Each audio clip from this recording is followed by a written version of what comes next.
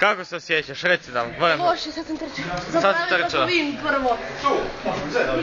Evo ga, bijeli. Erik Pivoda. Stigao je mali Erik. Donesao nam je film na poklon. Da, da. Daj, daj. Rodi. Paris Low.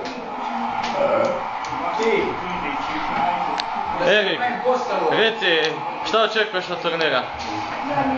A? Zadnji ćeš biti. Dobro. Neko mora i zadnji biti.